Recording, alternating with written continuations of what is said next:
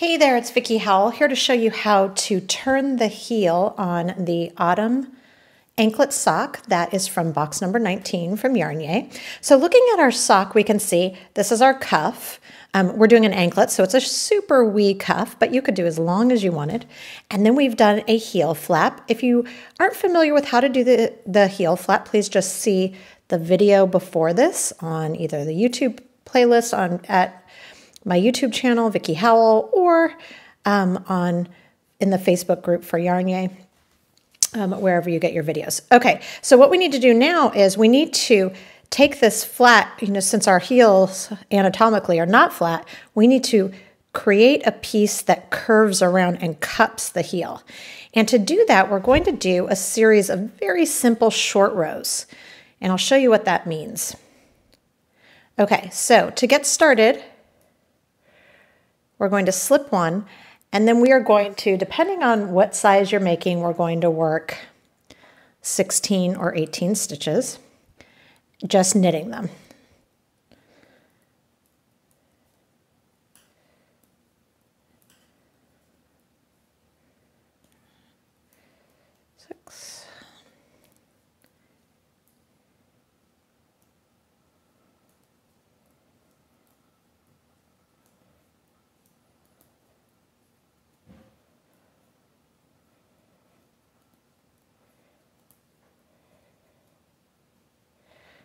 Okay, once we've worked, knit all those stitches, we are going to do a decrease, which is an SSK, which means slipped two, slipped two stitches one at a time.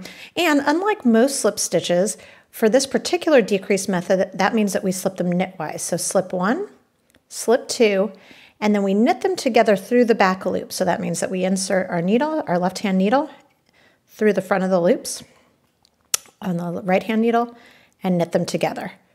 All right, so that's created a decrease. And then we will knit one more stitch and then we will turn.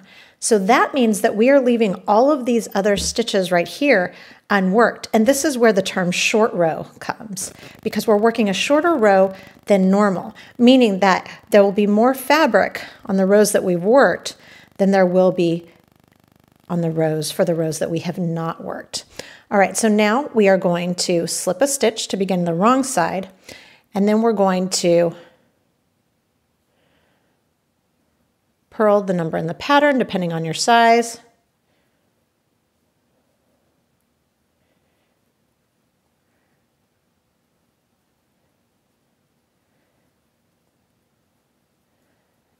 And then we need to purl two together.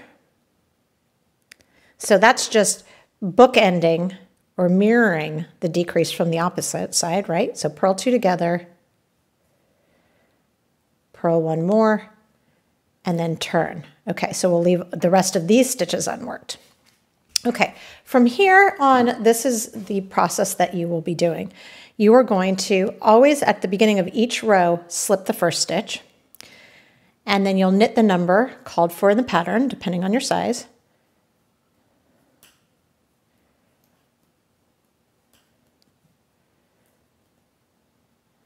But let me tell you, you don't even need to worry about what the numbers in the pattern are because all you're looking for is this gap.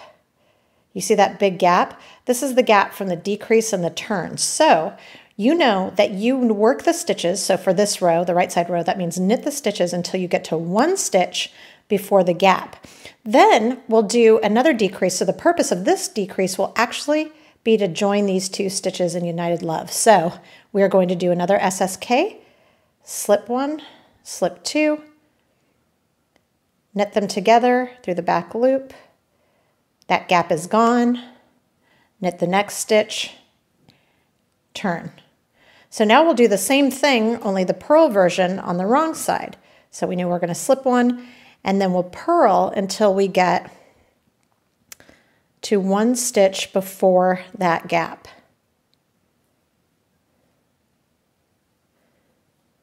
So even if you get lost in a pattern and aren't sure what number you're on as far as stitches go for the decreases, you don't need to worry because you will always just need to go to one stitch right before that gap.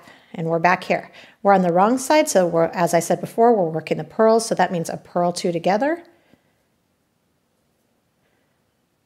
purl one, and turn.